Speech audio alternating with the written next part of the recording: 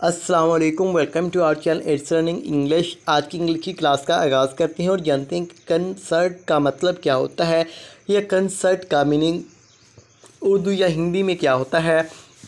आज की इस इंग्लिश की क्लास के अंदर हम देखने वाले हैं। उससे पहले अगर अभी तक आपने हमारे चैनल इट्स लर्निंग इंग्लिश को सब्सक्राइब नहीं किया तो ज़रूर सब्सक्राइब कर दीजिएगा।